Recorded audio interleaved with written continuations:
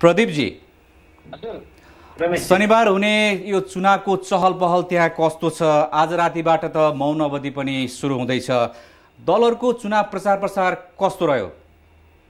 समग्र रूपमा भन्दा कास्कीमा यसपटकको उपनिर्वाचनमा निकै दलहरू निकै रूपमा सक्रिय रूपमा मतदाताको घर दैलोमा पुगेको देख्न सकिन्छ। यहाँ कि प्रतिपक्ष दल नेपाली काङ्ग्रेस देखुन्छ सत्ता पक्ष नेकपाका नेताहरू समेत पनि मतदाताको घर दैलोमा पुगिरहेको अवस्था देख्न सकियो भने र साना दलहरूको कुरा गर्नुपर्दा समाजवादी पार्टी त्यसै गरी साझा पार्टी विवेकशील पार्टीहरू पनि आफ्नो मतदाता बिच गएर आफूले धेरै मतदाताको विश्वास जित्ने प्रयास सकिन्छ आज मौन अवधि भएका कारण आजबाट राति बाह्र बजी अवधि भएका कारणले गर्दा आज पोखरामा धेरै ठुला कार्यक्रमहरू नेकपाले गर्यो। आमसभा नेकपाले गर्यो भने काङ्ग्रेसले विभिन्न ठाउँ ठाउँमा चुनावी पूर्ण सभाहरू गर्यो त्यसै गरी अन्य दलहरूले पनि त्यही प्रकारबाट आफ्ना चुनावी कार्यक्रमहरूलाई अगाडि बढाएका छन् र दलहरू अहिले केमा केन्द्रित रहेको अवस्था देख्न सकिन्छ भने जुन किसिमको कास्की क्षेत्र नम्बर दुईको जुन निर्वाचन छ यो निर्वाचनलाई एउटा प्रतिष्ठाको विषय बनाएको देख्न सकिन्छ जहाँ सत्ता पक्षले जुन यो चुनाव आफूले जित्यो भने सरकारले गरेका गतिविधि सही रहेछन् भन्ने कुराहरू सही रहेछन् भन्ने कुराहरू आउने छन् भने प्रतिपक्षले नेपाली काङ्ग्रेसले जित्यो भने सरकार असफल बाटोमा हिँडेको रहेछ सकिन सजिलो हुन्छ भन्ने तरिकाबाट दलहरूले लिइरहेका छन् मुख्य दलहरूले चुनावी मुद्दा चाहिँ विशेष गरी केलाई बनाएका छन्? मतदातालाई आकर्षित गर्ने उनीहरूको मुख्य नारा के छ प्रदीपजी?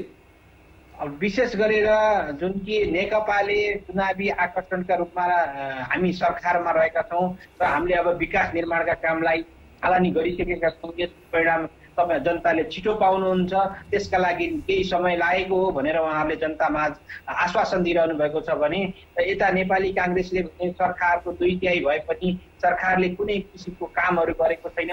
जनतालाई एउटा ढाँट्ने काम गरिरहेको छ भन्ने कुरा लगायतका आरोपहरू जुन चुनावी सभाहरूमा पनि दलहरूले लगाइरहेका छन्। र अहिले यहाँ क्षेत्र नम्बर दुईमा विशेष गरेर नेपाली काङ्ग्रेस र नेकपा बिच नै प्रतिस्पर्धा हुने देखिन्छ जहाँ कि एघारवटा दल मैदानमा रहेका एघारजना स्वतन्त्र उम्मेद्वार सहित करिब बाइसजना उम्मेद्वारहरू जुन एक पदका लागि निर्वाचनमा होमिरहेको अवस्था रहेको छ।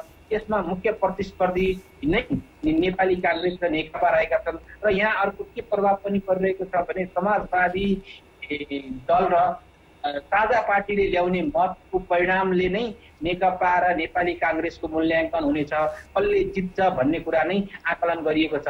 यहाँ के पनि आएको छ भने रमेशजी साझा पार्टीले धेरै मत ल्यायो भने काङ्ग्रेसलाई क्षति पुग्न सक्छ समाजवादीले धेरै मत ल्यायो भने नेकपाका लागि क्षति पुग्न सक्छ भन्ने किसिमका विश्लेषणहरू पनि रहेका छन्। र आज मात्रै होइन कि जुन यो उम्मेदवारी दर्ता भइसकेपछि काङ्ग्रेसका नेकपाका नेताहरू पोखरा केन्द्रित भएका थिए। सबै दलका नेताहरू पोखरामा आएर आफ्नो चुनावी एजेन्डाहरू पनि प्रस्तुत गरेका थिए र त्यही अनुसार नै मतदाताको घर घरमा पुगेर उनीहरूले मत मागिरहेको देख्न सकिन्छ। यसलाई सबै दलले एउटा प्रतिष्ठाको विषय बनाएर चुनावी मैदानमा होमिएका हुन् रमेश। अब दलहरू त मतदाताको घर घरमै पुगेर मत मागिरहेका छन्। मतदाताहरूको उत्साह चाहिँ कस्तो पाउनु भएको छ? उनीहरूको अपेक्षा चाहिँ के देख्नुभयो? मतदाताहरूमा जाँदाखेरि के मतदाताहरूले कसलाई भोट दिन्छन् भन्ने कुराको एक किन अन्य अन्यल अवस्थामा रहेको छ। किनभने त्यहाँ काङ्ग्रेसका उम्मेदवारहरू जाँदाखेरि नेकपाका उम्मेदवार जाँदा समाजवादीका र अन्य दलहरू र स्वतन्त्र उम्मेदवारहरू जाँदाखेरि पनि उनीहरूको अवस्था के छ? सबैलाई हामी भोट दिन्छौँ भनेका छन्। एक किसिमका कुराहरू आइरहेका छन्। अहिले सरकारका आलोचना भइरहेको कारणले गर्दा काङ्ग्रेसले भोट पाउन सक्छ भन्ने एक किसिमको आकलन छ भने यता सत्तामा रहिरहेको जुन नेकपा छ उसले विकास निर्माणका कामहरूलाई गरिदिन्छु भन्ने आश्वासन दिन्छ। त्यस कारणले उसले काम गर्छ भन्ने कारणले गर्दा फेरि नेकपालाई पनि भोट दिन्छन् भन्ने एउटा आकलन गरिरहेको छ। र नेकपा र नेपाली काङ्ग्रेस बिचको जुन मत अन्तर निकै कम हुनेछ भन्ने अपेक्षा पनि यसपटक मतदाताहरूमा रहेको छ। र जुन काङ्ग्रेसको अहिले यसपटकको निर्वाचनको कुरो गर्नु पर्दाखेरि के रहेको छ भने काङ्ग्रेस एक भिक्का भएर चुनावी मैदानमा होमिएको देख्न सकिन्छ विगतका चुनावहरूमा भन्दा। नेकपा पनि त्यही अनुसार अगाडि बढिरहेको देख्न सकिन्छ। र सबैको क्षेत्रमा को ध्यान के रहे प्रदीप जी